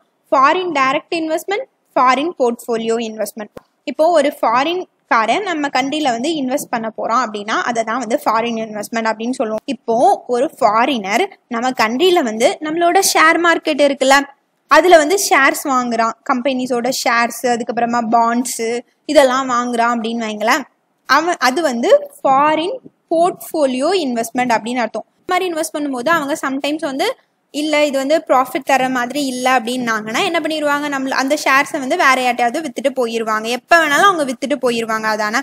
அதனால எந்த கண்ட்ரியுமே இந்த ஃபாரின் போர்ட்ஃபோலியோ இன்வெஸ்ட்மெண்ட்டை விரும்ப மாட்டாங்க. ஏன்னா இது வந்து டெம்பரவரி ஷார்ட் டைம் தான். அந்த பாண்ட் பீரியட் முடிஞ்ச உடனே எல்லாமே முடிஞ்சிரும் அதானே. அவங்களோட இன்வெஸ்ட்மெண்ட் வந்து போயிடும் இதே வந்து ஃபாரின் டைரக்ட் இன்வெஸ்ட்மெண்ட் அப்படின்னா என்னன்னா ஒரு ஃபாரினர் நம்ம கண்ட்ரியில் வந்து ஒரு பிஸ்னஸ் ஸ்டார்ட் பண்ண போறாரு. ஒரு கம்பெனி வந்து ஸ்டார்ட் பண்ண போறாரு அப்படின்னா அது வந்து ஃபாரின் டைரக்ட் இன்வெஸ்ட்மெண்ட் இல்லை அப்படின்னா நான் வந்து இங்கே ஒரு கம்பெனி நடத்திட்டு இருக்கேன் இந்தியாவில் அந்த கம்பெனியில் வந்து அந்த ஃபாரினர் வந்து என்ன பண்ண போறாரு? பாதி இன்வெஸ்ட்மெண்ட் வந்து பண்ண போறாரு அப்படின்னா அது வந்து என்னது? ஃபாரின் டைரக்ட் இன்வெஸ்ட்மெண்ட் இப்போ நம்ம கண்ட்ரியில் ஃபாரின் டைரக்ட் இன்வெஸ்ட்மெண்ட் பாலிசி எப்படி இருக்கு அப்படின்னு ஃபர்ஸ்ட் பார்த்துடலாம். நம்ம ஏற்கனவே இதை வந்து ஒரு நாள் டிஸ்கஸ் பண்ணியிருக்கோம். நைன்டீன்த் ஏப்ரலில் டிஸ்கஸ் பண்ணோம். இதில் வந்து ரீசெண்டாக சேஞ்சஸ் வந்து கொண்டு வந்திருக்காங்க. ஸோ ஃபஸ்ட்டு வந்து பழைய பாலிசி வந்து எப்படி இருந்துச்சு? இப்போ என்ன சேஞ்ச் கொண்டு வந்திருக்காங்க அப்படின்னு பார்க்கலாம். ஃபஸ்ட்டு பார்த்தீங்கன்னா இந்த ஃபாரின் டைரக்ட் இன்வெஸ்ட்மெண்ட்டில் ரெண்டு ரூட் இருக்குது ஒரு ஃபாரினர் நம்ம கண்ட்ரியில் வந்து இன்வெஸ்ட் பண்ண போகிறான் அப்படின்னா அவன் வந்து ஒன்று கவர்மெண்ட் ரூட் வழியாக இன்வெஸ்ட் பண்ணணும். இல்லைனா ஆட்டோமேட்டிக் ரூட் வழியாக இன்வெஸ்ட் பண்ணணும். கவர்மெண்ட் ரூட் அப்படின்னா defence space atomic energy media இந்த மாதிரி இடத்துலலாம் அவன் வந்து என்ன பண்ணணும்? கவர்மெண்ட் கிட்ட அப்ரூவல் வாங்கிக்கிட்டு தான் அந்த செக்டாரில் அவனோட இன்வெஸ்ட்மெண்ட்டை பண்ண முடியும். அது மட்டும் இல்லை பாகிஸ்தான் பங்களாதேஷ் இந்த ரெண்டு கண்ட்ரியும் கவர்மெண்ட் கிட்ட அப்ரூவல் வாங்கிக்கிட்டு தான் நம்மளோட கம்பெனிஸில் இன்வெஸ்ட் பண்ண முடியும். இப்போ ரீசனாக என்ன சேஞ்ச் கொண்டு வந்திருந்தாங்க அப்படின்னா பாகிஸ்தான் பங்களாதேஷ் மட்டும் கிடையாது. இந்தியா கூட லேண்ட் பார்டர் ஷேர் பண்ணும்ல அந்த கண்ட்ரிஸ் எல்லாமே கவர்மெண்ட் கிட்ட அப்ரூவல் வாங்கிக்கிட்டு தான் இந்தியாவில் ஃபாரின் டைரக்ட் இன்வெஸ்ட்மெண்ட் வந்து பண்ணணும் அப்படின்னு சொல்லிட்டாங்க. இந்தியா கூட லேண்ட் பார்டர் ஷேர் பண்ணுற கண்ட்ரிஸ் மொத்தம் செவன் இதில் வந்து சைனாவும் வரும். எதுக்கு வந்து இந்த டிசிஷன் வந்து பண்ணாங்க அப்படின்னா இப்போ லாக்டவுனை யூஸ் பண்ணி சைனீஸ் கம்பெனிஸ் வந்து நிறைய இன்வெஸ்ட்மெண்ட் வந்து நம்ம கண்ட்ரியில் பண்ண கூடாது அப்படிங்கிறதுக்காக. ஏன்னா இப்போ பார்த்தீங்கன்னா நிறைய ஸ்மால் ஸ்மால் இண்டஸ்ட்ரீஸ்லாம் ரொம்ப கஷ்டத்தில் இருப்பாங்க. பணம் இல்லாமல் இந்த மாதிரி டைமில் சைனீஸ் கம்பெனிஸ் வந்து பணத்தை இன்வெஸ்ட் பண்ணி அந்த கம்பெனிஸ் எல்லாம் அவங்களோட கண்ட்ரோல் கீழே கொண்டு வந்துடக்கூடாதுல அதனால தான் இப்படி ஒரு அனௌன்ஸ்மெண்ட் வந்து கொடுத்துருந்தாங்க. அடுத்து ஆட்டோமேட்டிக் ரூட்ல பார்த்தீங்கன்னா கவர்மெண்ட் கிட்ட அப்ரூவல் வாங்கணும் அப்படின்னு தேவை கிடையாது. நம்ம இன்வெஸ்ட் பண்ணதுக்கு அப்புறமா ஆர்பிஐ கிட்ட இன்ஃபார்ம் மட்டும் பண்ணா போதும். இப்போ இந்த கவர்மெண்ட் ரூட்ல இருக்கிறத தவிர மற்ற எல்லாமே ஆட்டோமேட்டிக் ரூட்ல வரும். அதுக்கப்புறமா சம் செக்டார்ஸ் வந்து எஃப்டிஐ வந்து நாட் பர்மிட்டட் அதாவது லாட்ரி ரியல் எஸ்டேட் கேம்லிங் இந்த மாதிரி செக்டார்ஸ்லலாம் ஃபாரின் டைரக்ட் இன்வெஸ்ட்மெண்ட்டை வந்து நம்மளோட கவர்மெண்ட் வந்து அலோவ் பண்ணுறதில்ல இப்போ பார்த்தீங்கன்னா இந்த டிஃபென்ஸில் பார்த்தீங்கன்னா ஒரு ஃபார்ட்டி நைன் பர்சன்டேஜ் வந்து ஆட்டோமேட்டிக் ரூட் வழியாக வரலாம். அதாவது ஃபார்ட்டி நைன் பர்சன்டேஜ் அப்படின்னா ஏதாவது சம் வெப்பன்ஸ் மட்டும் தயாரிக்கிறதுக்கு அவங்க இன்வெஸ்ட் பண்ணுறாங்க அப்படின்னா கவர்மெண்ட் கிட்ட கேட்க வேண்டாம். அவங்க இன்வெஸ்ட் பண்ணதுக்கப்புறமா ஆர்பிஐ கிட்ட சொன்னால் போதும். இப்போ இந்த ஃபார்ட்டி நைன் பர்சன்டேஜ் என்ன பண்ணிட்டாங்க? செவன்டி ஃபோர் பர்சன்டேஜாக மாற்றிட்டாங்க அப்போ அவங்களுக்கு இன்னும் நிறைய ஃப்ரீடம் வந்து கிடச்சிருக்கு. அவங்க ஆட்டோமேட்டிக் ரூட்டில் இன்னும் நிறைய இன்வெஸ்ட் பண்ண போகிறாங்க அடுத்து என்ன சொல்லியிருந்தாங்க அப்படின்னா ஆர்டினன்ஸ் ஃபேக்ட்ரி போர்டு இவங்க வந்து டிபார்ட்மெண்ட் ஆஃப் டிஃபென்ஸ் ப்ரொடக்ஷனுக்கு கீழே வராங்க. அதாவது டிஃபென்ஸ் மினிஸ்ட்ரிக்கு கீழே வராங்க. இவங்க தான் இந்தியாவில் இருக்கிற ஆர்டினன்ஸ் ஃபேக்ட்ரிஸ் எல்லாத்தையுமே மேனேஜ் பண்ணிட்டு இருக்காங்க. அதாவது டிஃபென்ஸ் எக்யூப்மெண்ட் தயாரிக்கிற ஃபேக்ட்ரிஸ் எல்லாத்தையுமே இந்த போர்டு தான் மேனேஜ் பண்ணிட்டு இருக்காங்க இந்த போர்டுக்கு வந்து அட்டானமி கொடுக்கணும் அப்படின்னு சொல்லிட்டு ரொம்ப நாளாக வந்து கேட்டுட்டு இருக்காங்க அதாவது இதில் வந்து பிரைவேட் இன்வெஸ்ட்மெண்ட்டை வந்து அலோ பண்ணணும் அப்படின்னு வந்து நிறைய ரிக்வஸ்ட்லாம் வச்சுட்டே இருந்தாங்க. ஆனால் இப்போ நம்மளோட கவர்மெண்ட் என்ன அனௌன்ஸ் பண்ணியிருக்காங்க அப்படின்னா இதை வந்து நாங்கள் ப்ரைவேட் பண்ண போகிறதில்ல ஆனால் இதோட ஷேர்ஸை வந்து ஸ்டாக் மார்க்கெட்டில் லிஸ்ட் பண்ண போகிறோம் அப்படின்னு சொல்லியிருக்காங்க அப்படின்னா என்ன அர்த்தம் அப்படின்னா இந்த ஆர்டினன்ஸ் ஃபேக்ட்ரிஸ் இருக்குல்ல அதாவது டிஃபென்ஸ் எக்யூப்மெண்ட் தயாரிக்கிற ஃபேக்ட்ரிஸோட ஷேர்ஸை வந்து இனிமேல் நம்மளும் வாங்கிக்கலாம். ப்ரைவேட் கம்பெனிஸும் வாங்கிக்கலாம். ஷேர்ஸ் மட்டும்தான் விற்க போகிறாங்க கம்பெனிஸை வந்து ப்ரைவேட் பிளேயர்ஸ்க்கு விற்கலை ப்ரைவேட்டைஸ் பண்ணல அப்படின்னு சொல்லியிருக்காங்க. அடுத்து ஸ்பேஸ் செக்டார் இதுலேயும் வந்து ப்ரைவேட்டைசேஷன் தான் அலோவ் பண்ணியிருக்காங்க. அதாவது பிளானட்டரி எக்ஸ்ப்ளோரேஷன் கோள்கள் வந்து கண்டுபிடிக்கிறது. அதுக்கப்புறமா அவுட்டர் ஸ்பேஸ் ட்ராவல் இதெல்லாம் வந்து ப்ரைவேட் செக்டார்ஸும் பண்ணலாம் அப்படின்னு சொல்லியிருக்காங்க. இந்த ஆர்டிக்கலில் என்ன போட்டிருக்காங்க அப்படின்னு பார்த்தீங்கன்னா இந்த மாதிரி ப்ரைவேட் செக்டாரை அலோவ் பண்ணுறத டூ தௌசண்ட் செவன்டீன்லே கவர்மெண்ட் வந்து இனிஷியேட் பண்ணியிருக்காங்க அப்படின்னு போட்டிருக்காங்க. Two thousand செவன்டீனில் department of space இவங்க வந்து ஒரு டிராஃப்ட் பில் வந்து கொண்டு வருவாங்க. டிராஃப்ட் ஸ்பேஸ் ஆக்டிவிட்டிஸ் பில் இதோட பேரு. இதில் வந்து என்ன மென்ஷன் பண்ணியிருந்தாங்க அப்படின்னா நம்மளோட ஸ்பேஸ் டெக்னாலஜி வந்து டெவலப் பண்ணணும் அப்படின்னா நம்மள வந்து நம்ம வந்து இதில் வந்து ப்ரைவேட் பிளேயர்ஸை வந்து அலோவ் பண்ணணும் அப்படின்னு வந்து மென்ஷன் பண்ணியிருந்தாங்க. பட் இந்த பில் வந்து இன்னும் பார்லிமெண்டோட டிஸ்கஷனுக்கே வரவே இல்லை. அடுத்து நம்ம கண்ட்ரியில் இருக்கிற ஜியோஸ்பேட்டியல் பாலிசிஸை வந்து ரிலாக்ஸ் பண்ண போகிறோம் ப்ரைவேட் பிளேயர்ஸ் ப்ரைவேட் கம்பெனிஸும் அக்சஸ் பண்ணுற மாதிரி பண்ண போகிறோம் அப்படின்னு சொல்லியிருக்காங்க. நம்ம கண்ட்ரியில் செவன்டீன் ஜியோஸ்பேட்டியல் பாலிசிஸ் இருக்குது அதாவது மேப்பிங் பாலிசி அதுக்கப்புறமா ரிமோட் சென்சிங் பாலிசி இந்த மாதிரி நிறைய பாலிசி இருக்குது இதில் பார்த்தீங்கன்னா செக்யூரிட்டியை காரணமாக வச்சு இந்த மாதிரி ப்ரைவேட் பிளேயர்ஸ்க்குலாம் கவர்மெண்ட் வந்து இந்த இன்ஃபர்மேஷனை இந்த டேட்டா வந்து கொடுக்க மாட்டாங்க. ஜியோஸ்பேட்டியல் அப்படின்னா ஒன்றும் கிடையாது. ஜியாகிரபிக்கல் லொக்கேஷன் பேஸ்ட் இன்ஃபர்மேஷன் நம்ம கண்ட்ரியோட லொக்கேஷன் பேஸ்டான இன்ஃபர்மேஷன்ஸ் எல்லாமே இருக்கும். அதில் பவுண்ட்ரிஸ் இந்த மாதிரி எல்லாமே இருக்கும். இதை வந்து அந்த அளவுக்கு கவர்மெண்ட் வந்து ப்ரைவேட் பிளேயர்ஸ்க்கு கொடுக்க மாட்டாங்க. அவங்க வாங்கணும் அப்படின்னா நிறைய ப்ரொசீஜர்ஸ் வந்து ஃபாலோ பண்ண வேண்டியது இருக்கு. இந்த அனௌன்ஸ்மெண்ட்ல என்ன சொல்லியிருக்காங்க அப்படின்னா இந்த பாலிசிஸ் எல்லாத்தையும் நாங்கள் ரிலாக்ஸ் பண்ண போகிறோம் அப்படின்னு சொல்லியிருக்காங்க. இப்போ இந்த ஸ்பேஸ் செக்டாரில் கொடுத்துருக்க அனௌன்ஸ்மெண்ட்ல ஒரு கன்சர்ன் வந்து வச்சுருக்காங்க. என்ன வச்சுருக்காங்க அப்படின்னா ஸ்பேஸ் செக்டாருக்கு இண்டிபெண்ட் ஸ்பேஸ் ரெகுலேட்டர் வந்து கொண்டு வரணும் அப்படின்னு சொல்லியிருக்காங்க. ஆனால் அதை வந்து கவர்மெண்ட் இன்னும் கொண்டு வரல அப்படின்னு சொல்லியிருக்காங்க. ஏன் அப்படின்னா நம்மளோட ஸ்பேஸ் செக்டார் வந்து யார் ஆர்கனைஸ் பண்ணுறா அப்படின்னு பார்த்தீங்கன்னா டிபார்ட்மெண்ட் ஆஃப் ஸ்பேஸ் இவங்க தான் ஆர்கனைஸ் பண்ணுறாங்க இவங்களுக்கு கீழே தான் ஐஎஸ்ஆர்ஓ வராங்க. இந்த டிபார்ட்மெண்ட் ஆஃப் ஸ்பேஸ் யாருக்கு கீழே இருக்காங்க அப்படின்னு பார்த்தீங்கன்னா எந்த மினிஸ்டருக்கு கீழேயும் இருக்க மாட்டாங்க. பிரைம் மினிஸ்டருக்கு கீழே. பிரைம் மினிஸ்டரோட ஆஃபீஸ்க்கு கீழே தான் இருக்காங்க. ஸோ அதனால இவங்களை ரெகுலேட் பண்ணுறதுக்கு இண்டிபெண்ட்டாக பிரைம் மினிஸ்டர் கீழே இருக்காங்கல்ல ஸோ இவங்களை ரெகுலேட் பண்ணுறதுக்கு இண்டிபெண்ட்டாக ஒரு ரெகுலேட்டர் வேணும் அப்படின்னு கேட்டிருந்தாங்க. ஆனால் அதை பற்றி எந்த முடிவுகளும் வந்து சொல்லவே இல்லை. அடுத்து கோல் கோல் செக்டாரில் என்ன சொல்லியிருக்காங்க அப்படின்னா கமர்ஷியல் மைனிங் வந்து ரெவன்யூ ஷேரிங் பேசிஸில் வந்து இன்ட்ரடியூஸ் பண்ண போகிறோம் அப்படின்னு சொல்லியிருந்தாங்க. ரெவன்யூ ஷேரிங் பேசிஸ் அதாவது நிலக்கரி சுரங்கங்கள்லாம் இருக்கும்ல நிலக்கரி எடுக்கக்கூடிய அந்த இடங்கள் அது இதை வந்து ப்ரைவேட் பேஸ்க்கு ஏலம் விட போகிறாங்க என்ன முறையில் அப்படின்னு பார்த்தீங்கன்னா ரெவன்யூ ஷேரிங் பேசிஸ் ஏலம் எடுக்கும்போதே அந்த கம்பெனிக்காரையும் சொல்லிடுவான் நாங்கள் வந்து இந்த கோலை வந்து எடுத்து விற்று கிடைக்கிற காசில் கவர்மெண்ட்டுக்கு ஒரு ஐம்பது பர்சன்டேஜ் தருவோம். இல்லை கவர்மெண்ட்டுக்கு அறுபது பர்சன்டேஜ் தருவோம். இல்லை கவர்மெண்ட்டுக்கு எழுபது தருவோம். இந்த மாதிரி ஏலம் எடுக்கும்போது சொல்லுவோம். அப்போ கவர்மெண்ட் என்ன பண்ணுவாங்க? யார் நிறைய தராங்களோ அவங்களுக்கு அந்த பிட்டை வந்து கொடுப்பாங்க ஓகேவா அந்த ஏலத்தை வந்து கொடுப்பாங்க அவ்வளோதான் இதுக்கு முன்னாடி வரைக்கும் இந்த மாதிரி எப்படி ஏலம் விட்டுட்டு இருந்தாங்க அப்படின்னா கேப்டிவ் கன்சியூமர்ஸ்க்கு மட்டும்தான் விட்டுட்டு இருந்தாங்க. அதாவது கேப்டிவ் கன்சியூமர்ஸ்னால் என்னன்னா இப்போ ஒரு கம்பெனி இந்த மாதிரி கோல் மைனை வந்து ஏலம் எடுக்கிறாங்க அப்படின்னா அந்த கம்பெனி அந்த கோலை வந்து யாருக்கும் விற்கக்கூடாது அது வந்து அவங்களோட கம்பெனி அவங்களோட இண்டஸ்ட்ரீஸ்க்கு பவர் ஜென்ரேட் பண்ணுறதுக்காக இல்லை அவங்களோட இண்டஸ்ட்ரீஸ்க்காக மட்டும்தான் யூஸ் பண்ணணும். அந்த மாதிரி இருக்கிறவங்களுக்கு மட்டும்தான் இந்த மாதிரி ஏலத்தில் விட்டுட்டு இருந்தாங்க.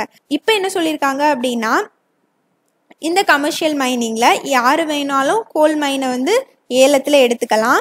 அவங்க அந்த கோல் மைனை யூஸ் பண்ணலைன்னா கூட அவங்க வந்து ஓப்பன் மார்க்கெட்டில் இதை விற்றுக்கலாம் அடுத்து வந்து அதோட ஷேர்ஸ் எல்லாத்தையும் நம்ம வந்து விற்றுக்கலாம் இன்னொருத்தவங்களுக்கு விற்றுக்கலாம் அப்படின்னு அலோவ் பண்ணியிருக்காங்க. அடுத்து சிவில் ஏவியேஷன் செக்டரில் என்ன சேஞ்சஸ் வந்து கொண்டு வந்திருக்காங்க அப்படின்னு பார்க்கலாம். இதில் வந்து என்ன சொல்லியிருக்காங்க அப்படின்னா இப்போ நம்ம கண்ட்ரியில் இருக்கிற ஏர் ஸ்பேஸ் அதாவது வான்வெளி இருக்கும்ல இதில் வந்து சிக்ஸ்டி பர்சன்டேஜை மட்டும்தான் ஏரோப்ளைன்ஸ்லாம் யூஸ் பண்ணிட்டு இருக்கான். சிக்ஸ்டி பர்சன்டேஜ் ஏரியாவில் மட்டும்தான் ஏரோப்ளைன்ஸ்லாம் பறக்கணும்.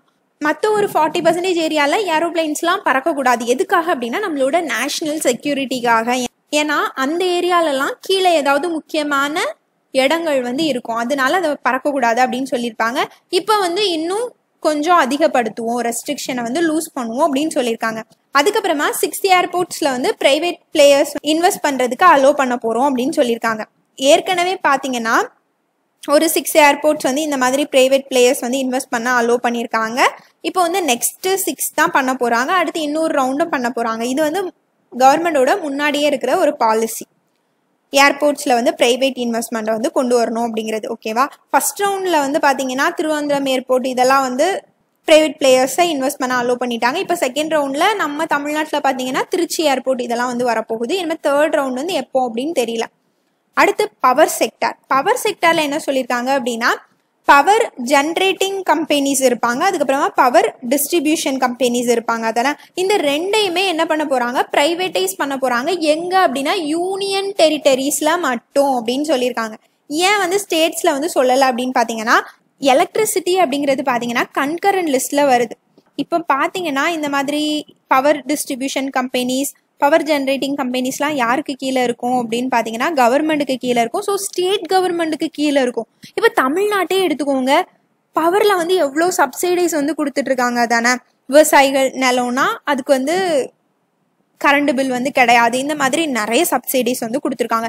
இப்போ இந்த மாதிரி கவர்மெண்ட் வந்து பிரைவேட் பிளேயர்ஸை அலோவ் பண்ணும்போது பிரைவேட் பிளேயர்ஸ் வந்து அந்த மாதிரி சப்சிடிஸ்லாம் கொடுப்பாங்களா? கண்டிப்பாக கொடுக்க மாட்டான். அதனால தான் ஸ்டேட் கவர்மெண்ட்ஸ் வந்து இந்த மாதிரி பாலிசிஸை வந்து எதிர்க்கிறாங்க ப்ரைவேட்டைஸ் பண்ணுறதை வந்து எதிர்க்கிறாங்களாம். ஏன்னா எல்லா ஸ்டேட் கவர்மெண்ட்டும் அவங்களோட எலெக்ஷன் அஜெண்டாவில் என்ன சொல்லி வச்சுருப்பாங்க? நாங்கள் விவசாயிகளுக்கெல்லாம் இலவச மின்சாரம் அப்படின்னு சொல்லி வச்சுருப்பாங்க. அதை வந்து கேன்சல் பண்ண முடியாதுல்ல. ஸோ அதனால தான் அவங்க வந்து எதிர்க்கிறாங்க. அதனால தான் சென்ட்ரல் கவர்மெண்ட் யூனியன் டெரிட்டரிஸ்க்கு வந்து ஃபஸ்ட்டு கொண்டு வந்திருக்காங்க. யூனியன் டெரிட்டரிஸில் இது நல்லா வரதை பார்த்து ஸ்டேட் கவர்மெண்ட்ஸ் வந்து அடாப்ட் பண்ணுவாங்க அப்படின்னு அவங்க ஒரு நம்பிக்கையாக வந்து சொல்லியிருக்காங்க. இப்போ இந்த பவர் பாலிசிக்காக புதுசாக ஒரு பாலிசி வந்து அனௌன்ஸ் பண்ண போகிறோம் அப்படின்னு சொல்லியிருக்காங்க இனிமே. அடுத்து அட்டாமிக் எனர்ஜிலையும் ப்ரைவேட் இன்வெஸ்ட்மெண்ட்டை அலோவ் பண்ணியிருக்காங்க. அட்டாமிக் எனர்ஜியில் பார்த்தீங்கன்னா மெடிக்கல் ஐசோடோப்ஸ் வந்து ப்ரொடியூஸ் பண்ணுவாங்கல்ல அந்த ரிசர்ச் ரியாக்டரில் ப்ரைவேட் பிளேயர்ஸ் வந்து இன்வெஸ்ட் பண்ணலாம் அப்படின்னு சொல்லியிருக்காங்க. மெடிக்கலில் வந்து நிறைய ஐசோடோப்ஸ் வந்து யூஸ் பண்ணுவோம். For example technetium ninety nine M இது வந்து ஒரு மெடிக்கல் ரேடியோ ஐசோடோப் தான். இது பார்த்தீங்கன்னா நிறைய டயக்னோசிஸ்க்கு இது வந்து யூஸ் பண்ணிட்டு இருக்காங்க ஸோ இந்த மாதிரி மெடிக்கல் ஐசோடோப்ஸ் வந்து ப்ரொடியூஸ் பண்ணுறதுக்கு மட்டும் நாங்கள் வந்து ப்ரைவேட் பிளேயரோட இன்வெஸ்ட்மெண்ட்டை அலோவ் பண்ணுறோம் அப்படின்னு சொல்லியிருக்காங்க. India opposes rejoining RCEP over China concerns அதாவது India regional comprehensive economic partnership இந்த அக்ரிமெண்ட்டில் ஜாயின் ஆக மாட்டோம் அப்படின்னு வந்து மினிஸ்ட்ரி ஆஃப் எக்ஸ்டர்னல் அஃபேர்ஸோட ஒரு அஃபிஷியல் வந்து சொல்லியிருக்காரு. ஃபஸ்ட்டு இந்த ஆர்சிஇபி அப்படின்னா என்ன அப்படின்னு பார்க்கலாம். ஆர்சிஇபி அப்படின்னா என்னென்னா ஏஷியன் கண்ட்ரிஸ் அதுக்கப்புறமா ஒரு சிக்ஸ் கண்ட்ரிஸ் இவங்க ரெண்டு பேரும் சேர்ந்து ஒரு அக்ரிமெண்ட் வந்து போடுவாங்க. ஃப்ரீ ட்ரேட் அக்ரிமெண்ட் இந்த ஃப்ரீ ட்ரேட் அக்ரிமெண்ட் தான் regional comprehensive economic partnership RCEP Asian countries அப்படின்னா என்னன்னா association of south east Asian nations அதாவது சவுத் ஈஸ்ட் ஏஷியாவில் இருக்கிற கண்ட்ரிஸ்லாம் ஒரு அசோசியேஷன் ஒரு ஆர்கனைசேஷன் வச்சுருக்காங்க. அதுதான் ஏஷியன் இந்த ஆர்கனைசேஷனில் டென் கண்ட்ரிஸ் வந்திருக்காங்க. இவங்க தான் அது. ஓகேவா மலேசியா வியட்நாம் கம்போடியா இந்த மாதிரி இந்த கண்ட்ரீஸ்லாம் இருக்காங்க. இந்த டென் கண்ட்ரீஸ் அதுக்கப்புறமா இன்னும் ஒரு சிக்ஸ் கண்ட்ரீஸ் யாரெல்லாம் அப்படின்னு பார்த்தீங்கன்னா India China Korea Japan Australia New Zealand இவங்க எல்லாரும் சேர்ந்து டூ தௌசண்ட் டுவெல்லில் கம்போடியாவில் ஒரு ஃப்ரீ ட்ரேட் அக்ரிமெண்ட்டை இனிஷியேட் பண்ணுவாங்க. எதுக்காக அப்படின்னா இப்போ சிக்ஸ்டீன் கண்ட்ரீஸ் வருதா? இந்த சிக்ஸ்டீன் கண்ட்ரீஸ்லையும் ஃப்ரீ ட்ரேட் வந்து நடக்கணும். அதாவது ஃப்ரீ ட்ரேட்னா ஒன்றும் கிடையாது. காமன் மார்க்கெட்டாக இருக்கும் ஆயிரும். இந்த சிக்ஸ்டீன் கண்ட்ரியில் எந்த கண்ட்ரியும் இன்னொரு கண்ட்ரிக்கு அவங்களோட பொருட்களை விற்றுக்கலாம் அதே மாதிரி அந்த கண்ட்ரியிலேருந்து அவங்க இங்கே வந்து வாங்குறதுக்கு அலோவ் பண்ணணும். எந்த ஒரு ரெஸ்ட்ரிக்ஷனும் போடக்கூடாது. நம்ம கண்ட்ரியில் பார்த்தீங்கன்னா நிறைய ரெஸ்ட்ரிக்ஷன் வந்து வச்சுருப்போம்ல. இப்போ அக்ரி செக்டார்லாம் இந்த பொருட்கள்லாம் இம்போர்ட் பண்ணக்கூடாது அப்படின்னு நிறைய ரெஸ்ட்ரிக்ஷன் வச்சுருப்போம். ஏன் இந்த மாதிரி ரெஸ்ட்ரிக்ஷன் வந்து வச்சுருக்கோம்? இப்போ ஒரு பென் கம்பெனியே எடுத்துக்கோங்க. நம்ம கண்ட்ரியில் உள்ள பென் வந்து டென் ருபீஸ் இருக்குது அப்படின்னு வைங்களேன். இதே வந்து இன்னொரு கம் இதே இன்னொரு கண்ட்ரிலேருந்து ஒரு பென் வந்து வருது. அது அதே பெண்ணு அதே மாதிரி தான் இருக்கு. ஆனால் அஞ்சு ரூபா அஞ்சு ரூபா தான் அப்படின்னா பீப்புள்ஸ்லாம் எதை வந்து வாங்குவோம்? இந்த அஞ்சு ரூபா பெண்ணை தான் வாங்குவோம். இதை வாங்க மாட்டோம். அப்போ நம்ம கண்ட்ரி நம்மளோட கம்பெனிக்கு லாஸ் ஆயிரும்ல.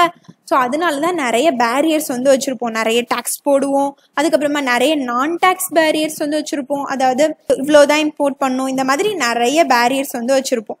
ஆனால் இந்த ஃப்ரீ ட்ரேட் அக்ரிமெண்ட் வந்து நம்ம சைன் பண்ணிட்டோம் அப்படின்னு வைங்களேன். இப்போ இதில் சிக்ஸ்டீன் கண்ட்ரிஸ் இருக்காங்கல்ல அப்போ எல்லா கண்ட்ரீஸையும் நம்ம அலோவ் பண்ணணும். நம்ம கண்ட்ரியில் வந்து அவங்களோட பொருட்களை விற்கிறதுக்கு அலோவ் பண்ணணும். அதே மாதிரி அவங்களும் நம்மளை வந்து அலோவ் பண்ணுவாங்க. இதுதான் ஃப்ரீ ட்ரேட் அக்ரிமெண்ட் ஓகேவா இதை வந்து பேசி பேசி டூ தௌசண்ட் டுவெல்லேருந்தே பேசி பேசி பார்த்தாங்க. ஆனால் இது வந்து சைனே ஆகலை. டூ தௌசண்ட் நைன்டீனில் என்னாச்சு அப்படின்னா இந்தியா வந்து இந்த டீல் எங்களுக்கு வேண்டாம் அப்படின்னு சொல்லிட்டு வெளியே வந்துட்டாங்க. ஏன் வந்து இந்தியா இந்த அக்ரிமெண்ட்லேருந்து வெளியே வந்தாங்க அப்படின்னு பார்க்கலாம்.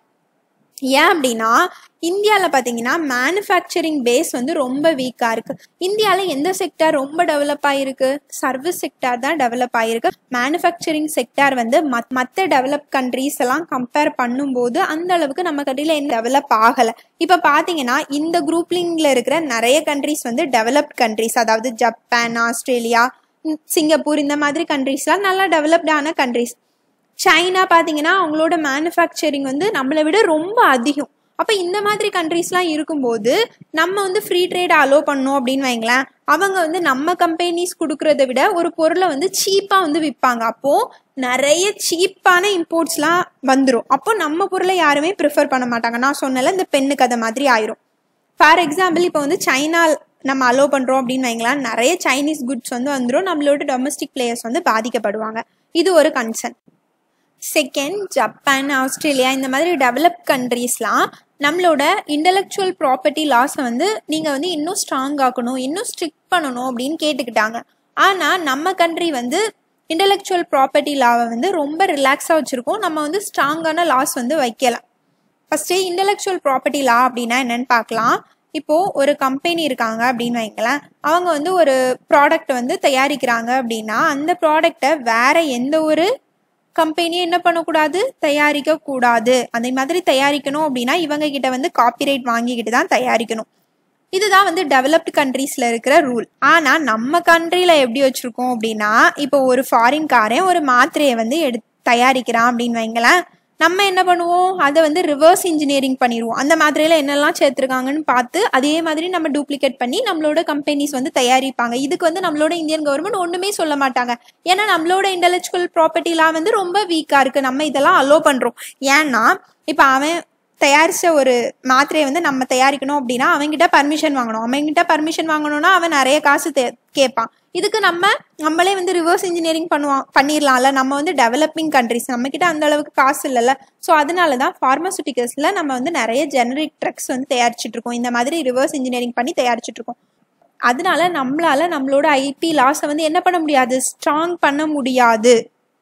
இது ஒரு கன்சர்ன் அடுத்து மூணாவது இந்த மாதிரி டெவலப்டு கண்ட்ரீஸ்லாம் என்ன சொன்னாங்க அப்படின்னா எல்லா கண்ட்ரீஸும் அவங்களோட கண்ட்ரியில் வந்து ஹைஜீனை வந்து ஹை ஸ்டாண்டர்டாக வைக்கணும். அதுக்கப்புறமா சானிடேஷன் ஃபெசிலிட்டிஸ்லாம் ஹையாக இருக்கணும் அப்படின்னு சொல்லியிருந்தாங்க.